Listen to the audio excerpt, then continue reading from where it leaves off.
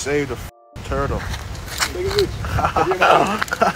YouTube, what's going on? We back at it again. So word in the streets, Rod Wave got arrested in Florida for possession of a firearm by a convicted felon, you know what I'm saying? And a lot of people already know when you famous, you gotta watch how you move.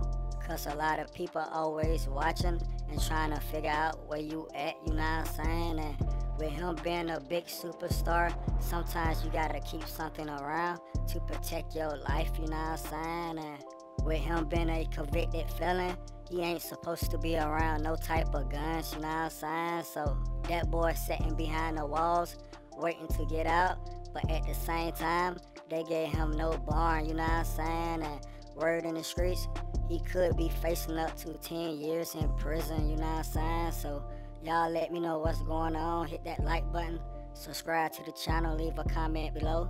After making it to the top with his music, he started to face a lot of problems, you know what I'm saying? And that boy gotta keep his head up and stay out the way, you know what I'm saying? So